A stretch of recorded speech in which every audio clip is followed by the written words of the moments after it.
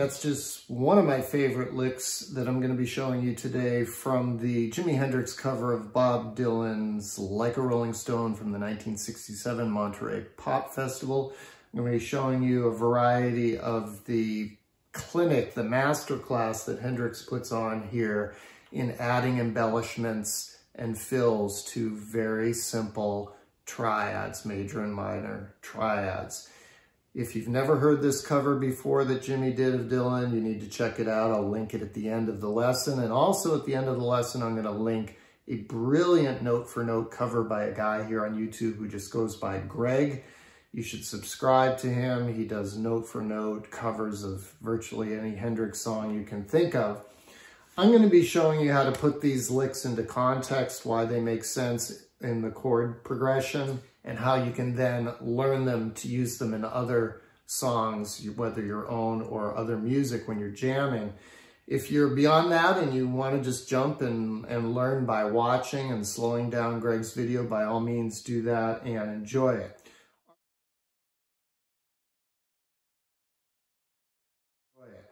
All right, let's look at the chord progression first. Uh, Dylan, of course, would have been playing in open position.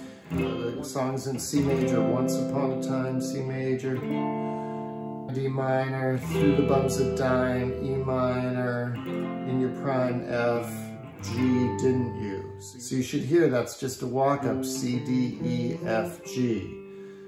It repeats, people call C, said, beware doll, D minor, you're bound to fall, E minor, you thought they were all F, just kidding you. And then it goes back and forth between the F and the G. You used to laugh about F, everybody that was G hanging out. And then the walk down, it's basically the inverse of what we did at the beginning. F, now you don't, E minor, D minor talks aloud, C. Repeat that. F, no you don't, baby. E minor, feel so proud, D minor, C. And then by having to be scrounging, it's just F to G. Your next meal. And then how does it feel to all the way to the like a Rolling Stone is just, just C,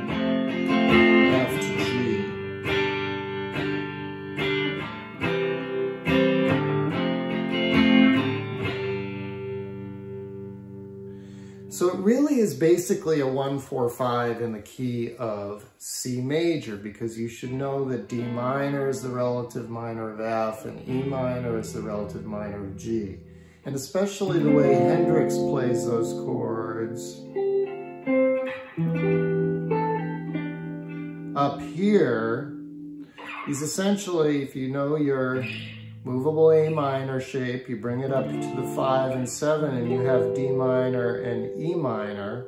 Well, Hendrix really plays them as D minor seven and E minor seven, so you can have that pinky available to do hammer-ons. Well, what you then have is an F chord and a G chord of your D shape, right? That's your F and your G of a D shape. So think of it as a, an embellished 145 in the key of C. All right, what does Hendrix do with those chords? Well, he mainly plays the C here as your A-shaped bar chord. And a couple things about that to know is, one, if you've never tried it with the pinky, try it. I think you get more comfort and leverage there. This is awkward. Uh, the pinky is how Clapton plays it. Check that out. Also know when you have that A-shaped bar chord, you have this beautiful box always available to you right under, sitting there, right underneath the chord uh, on uh, two frets apart. So in this case for a C chord on three and five. So Hendrix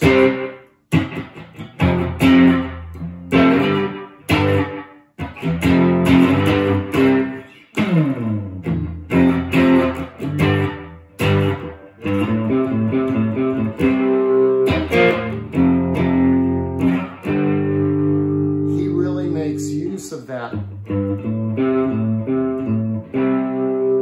Of that he does a lot of little fills there. That one is in the introduction. I don't know how many times he goes back and forth between that C note and the A note, but four or five times.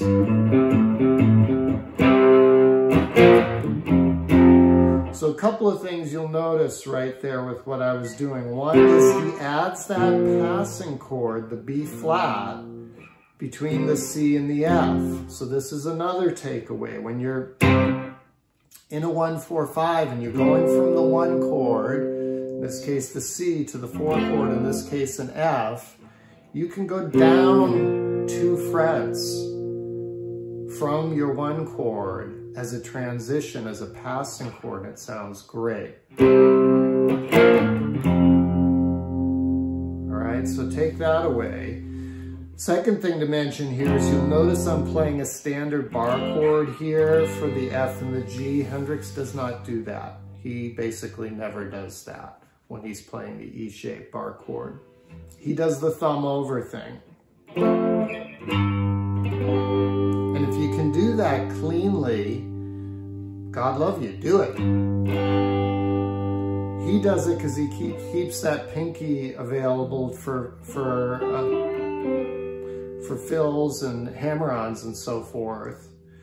Um, I find that hard to do. I mean, I could do it just sitting like this, but if I'm whipping around, it's hard to do cleanly. So most of the time, I'm to be what I like to call the F shape because it's easier to visualize. It's really in CAGED, known as the E shape, but however you want to call it, that's usually the way I'm going to be playing it. If you can do the, the thumb over, then do that because that's going to be that's going to be authentic. So we'll talk about things to do over the F and the G in a second here, but back to the C. I'm going to try to organize this by chord. I think that's probably the easiest way. So first thing to know is that box. Second thing to know is the transition chord. Third thing to know is when you're uh, playing the A shape uh, bar chord, We've talked about in many other lessons, on Hendrix, that you can slide up two frets from that and you're right into your major pentatonic box of that chord. So in this case, again, it's a C major chord. So you slide up two and you might think, oh, that looks like my A minor pentatonic box. Well, yes, it is because A minor is the relative minor to C major. So the notes are the same. So at one point, Hendrix he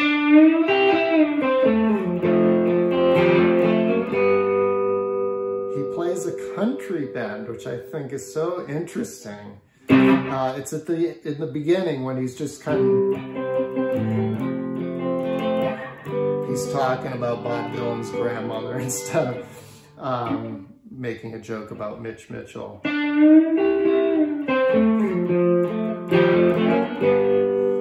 He does that, essentially. He does this, does this C major country bend. You're bending the seven, uh, seventh fret, third string, while holding down the eighth fret, second string. Release to five, four, and then slide down open string to the three on the F and come back to the G. I realize I'm getting into F and G licks a little bit, but they are just know.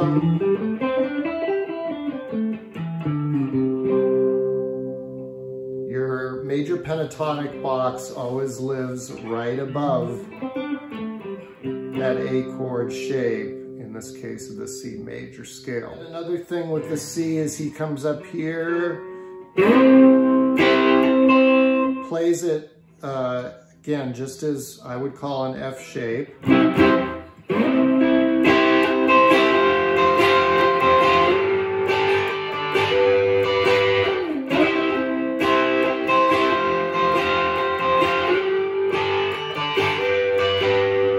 That's another one of my favorites. Okay, so we're gonna get into the F and G a little bit here. So C, and he's right there. So think about, you always wanna stay in the neighborhood, right? He doesn't wanna go C here and then go all the way back down here for F. He's right here, well, the F chord's right there, right? Our four chord of the A shape F chord is there. And if you were playing it on the top three strings, it'd be like this, but he doesn't just do that. He does a F sus2, which triad there. So we've got 10, 8, 8, and then the chord progression goes to the G, and what is he gonna do? Well, go up two fret. Excuse me, F chord of the A shape, G chord of the A shape, but he's playing them as sus2. And then you can hammer. I've shown you that hammer on plenty of times from a, a sus2 to the major triad.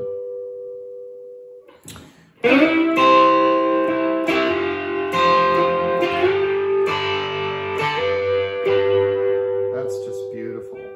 And he's doing that to like really create, create a crescendo.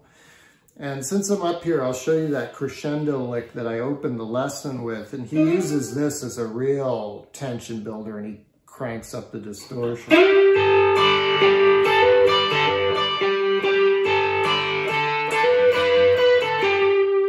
So it's just essentially an arpeggio of a G sus2 there. So 12, 10, 10.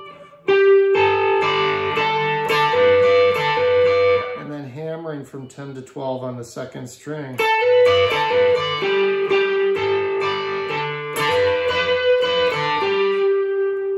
That's just beautiful. I just love that. Okay, what else does he do over the F and the G? Well, he primarily plays them down here, as I mentioned earlier. Over the F, he's hammering a lot from open to, to, to the A note, second, second fret.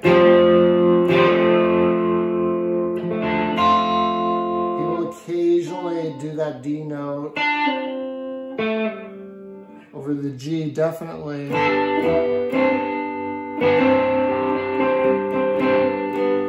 All three, and also the classic Hendrix lick that I've shown you in other lessons. So think about again your F shape of a G chord.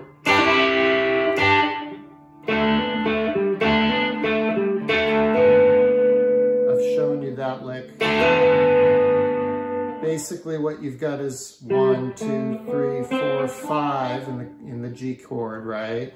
You're taking the two and the five and you're hammering to the major third and resolving on the one, the G note.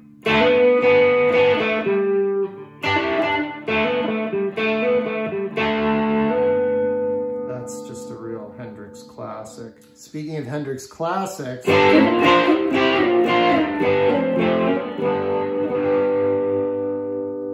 that Castles Made of Sand lick, he does that in here too. He goes something like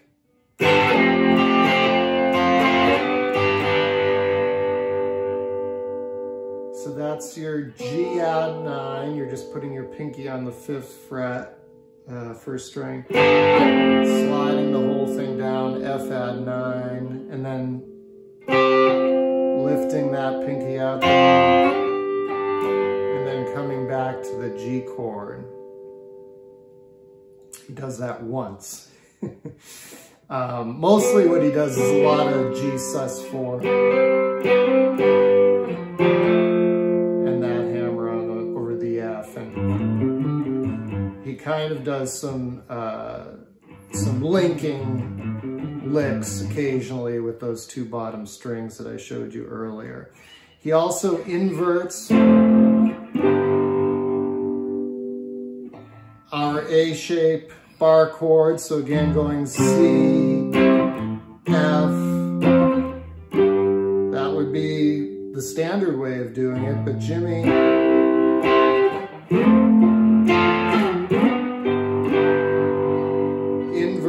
bass note, and you can see it gives you a whole new flavor. So again, over the F chord, instead of an F in the bass, you've got the A in the bass. So it gives it a completely different flavor. And the same thing for the G. Instead of a G in the bass, you've got the B in the bass. Last thing we'll look at and it's definitely not least because these sliding six are so freaking cool. So he does that one when he's going uh, to the F chord.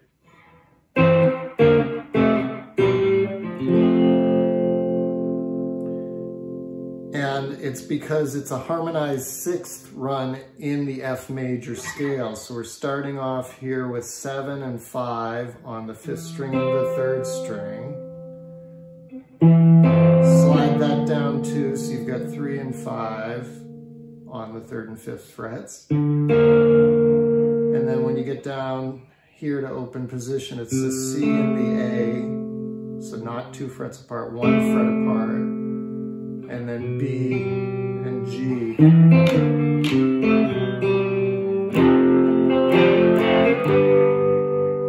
He does that twice in the song. There's one time where he's going from a G to a C, and he harmonizes the C major scale in reverse. Hopefully you can hear that this is the C major can hear that. So he's here, he's over a G chord. Well, what the hell?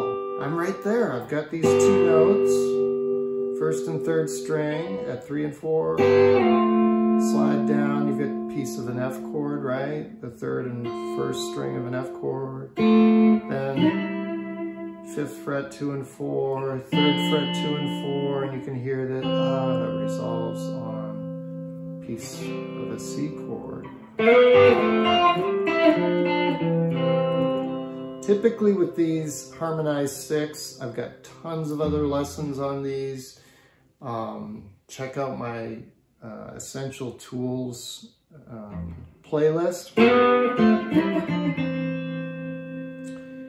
Typically, you would just be playing them in the scale of the song like this in the key of C major. So when he, when he does that one, it's a little, a little out of the box uh, because again, it's a harmonized F major scale, but he's leading into an F chord, so it makes sense.